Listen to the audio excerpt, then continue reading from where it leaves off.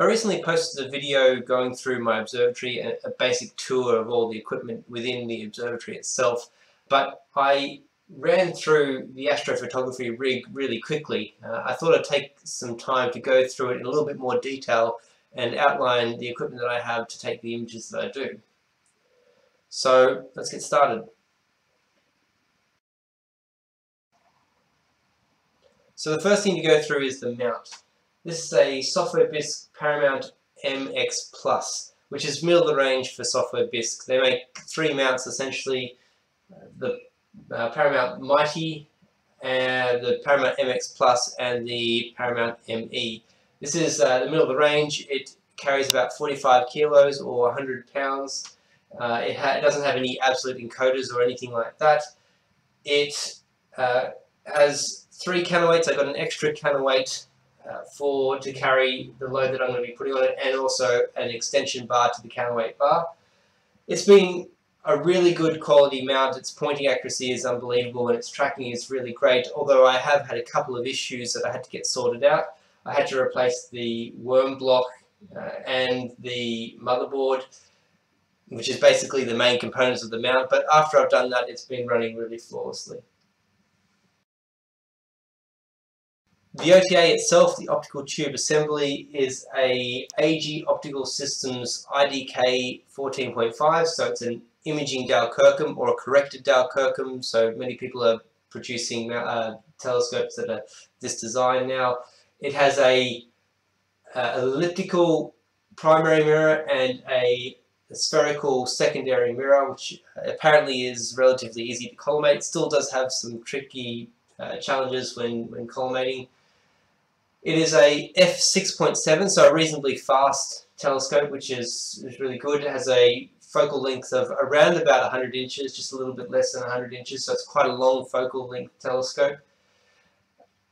Uh, this telescope has been performing uh, flawlessly. It's, it's a really fantastic telescope, probably the best piece of kit in my whole gear. I got a couple of additional extras in this, including the light shroud, which was not in my previous video, but now I've put it on uh, just to stop some of the dust from landing on the uh, the primary, and also it stops the, the light coming in from, from outside. I also got the thermal control system. Uh, this is an absolute must-have for, for any telescope, uh, especially if you're going to be operating it remotely. So this monitors the ambient temperature, the temperature of the primary mirror, and the temperature of the secondary mirror and can make corrections. So it has some fans at the back here and it also has a dew heater in the primary and secondary. So the thermal control system will monitor those temperatures and see if it's too hot then it'll put the fans on, if it's too cold and dew is at risk of forming then it will turn the heaters on. So generally at the start of an imaging session you'll need to have the fans running just to cool the primary mirror down to, to ambient and then throughout the night uh, the fans or the dew heater will, will click on depending on what temperature the primary and secondary are at. But this system operates really well. It can maintain tolerance of about 0.1 or 0.2 degrees. The secondary mirror does tend to uh, heat up quite quickly and then cool down quite quickly so you need to monitor how long you're pulsating the heat for but you can get this system working really well. The whole system is a, it's a carbon fiber truss system.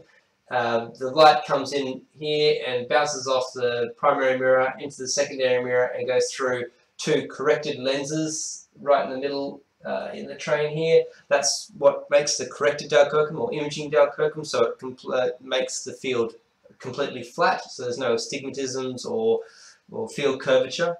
And then the light path goes out to the, the camera.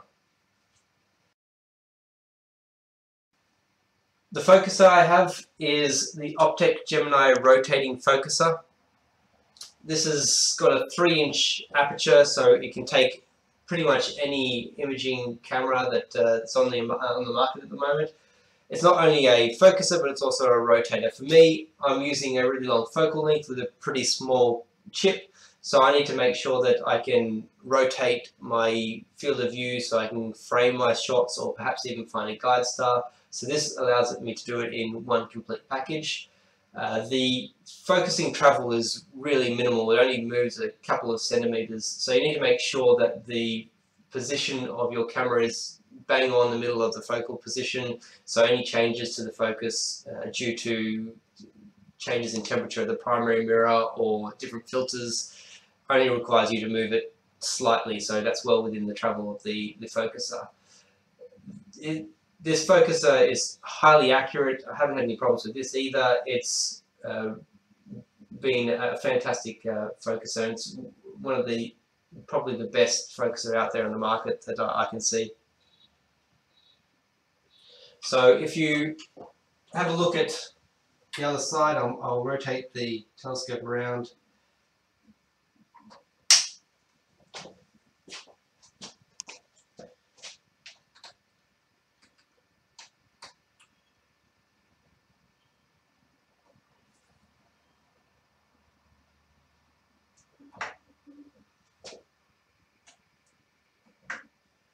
So this is the system that controls the focuser and the rotator. It also has a temperature sensor, so it's a thermal control uh, uh, focuser, so it can sense changes in the ambient temperature and make corrections to the focus position accordingly uh, to accommodate for any changes in the focus position of the primary mirror. So it's a really high-end piece of equipment and it's been working fantastically.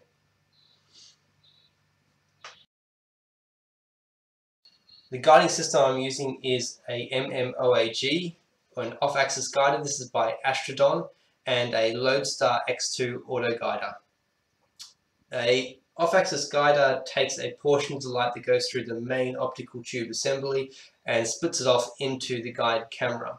Now, guide cameras tend to have a really small chip size, so the field of view at this focal length is really small, so the chances of finding a really decent star is minimal. So you need to make sure that you've got a really sensitive guide camera.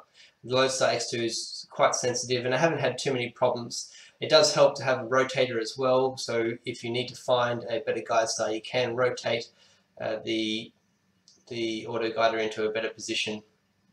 But generally this has been fine to, uh, to work with the system I've got.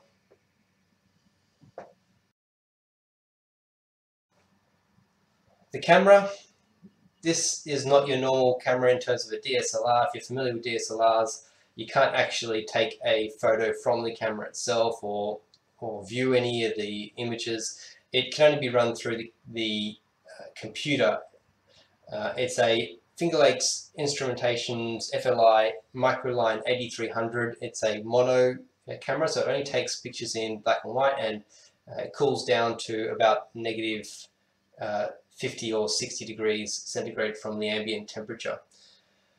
It is connected to a filter wheel and uh, the filter wheel has is a CF25, CFW25, so Finger Lakes uh, CFW25. It has five filters in it which are two inches each. Uh, I've gotten here the a luminance filter, which is essentially a clear filter that blocks out some of the infrared, a red, green and blue to make up your normal color filters, and then some narrowband filters, hydrogen alpha, uh, sulfur, sulfur 2 and oxygen 3. So all the filters that I have uh, within this filter wheel. So the chip in the camera is a KAF 8300 chip. So this is a, a popular chip that gets used in a number of different cameras. It's a 8.3 megapixel with 5.4 micron size pixels. Uh, it's it's really reasonably good. It's got a pretty good read noise. It's probably a little bit small for the focal length that I'm that I'm taking images at, so the field of view I, I get is is quite small. But it's manageable at the moment. I only really want to take pictures. I'm looking to take pictures of, of galaxies and uh, distant clusters and things like that and some nebulas, but for what I want to use, uh, use it for, it's been, you know, been quite good. So that's all the equipment in my setup. I hope you found it interesting. I thought I'd leave you now with a look at some of the pictures I've taken with that setup.